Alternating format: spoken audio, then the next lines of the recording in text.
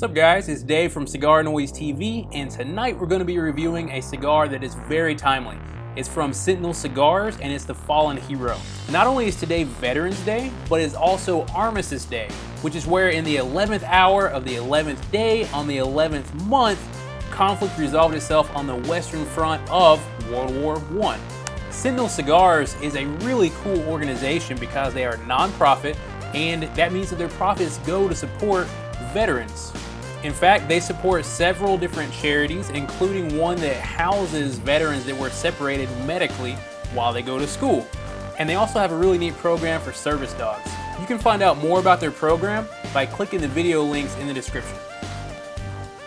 We received this cigar from IPCPR, but other than that, I know absolutely nothing about it. In fact, it's almost a ghost cigar if you search for it on Google. But that's not gonna stop us. We're gonna give it a whirl today and see what's up. Now, when I think of the fallen hero, I think of something that's bold and bigger than life. But in this case, this cigar starts off very mild, gentle. There's a little bit of spice that hits the back of the throat, but overall, it's all peanuts. We're talking chocolate covered peanuts, roasted peanuts, sweet boiled peanuts. Burning down further, we're getting cherries cordial out of this thing right now. And I've got to say that it's firing on way more cylinders than I expected initially. Entering the second third, several transitions happen. First, peanuts go away. Second, chocolate comes out bolder than before, this time more as a baker's chocolate. Third, I'm getting a lot of leather in this segment.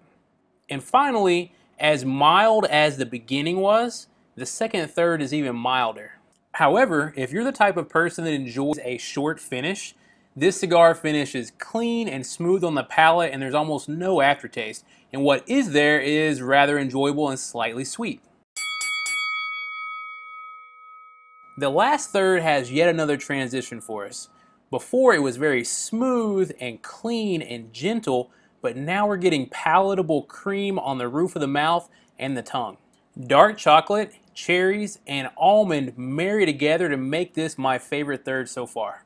And the body really comes together at this point, providing satisfying amounts of deep, rich flavor.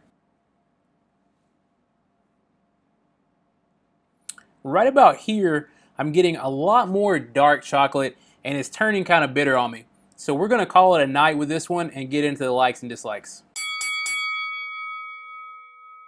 Going into this cigar review, I had no idea what to expect because it's a ghost. I don't know anything about the blend, I couldn't detect much from the pre-light inspection, and realistically that made me expect that it would suck. But I was pleasantly surprised with excellent construction, maintenance-free burn line, an easy draw with plenty of smoke output, and ultimately a very mild, pleasant cigar experience. If you like mild cigars and you want to support veterans, this is your cigar. If you want to absolutely nub a cigar, this may not be for you, bro.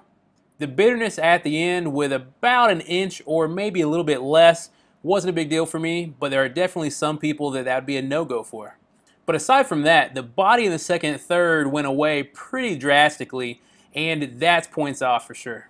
To view my rating, the community ratings, and to rate the cigar yourself, check out the links below and visit cigarnoise.com. As always, thank you for watching.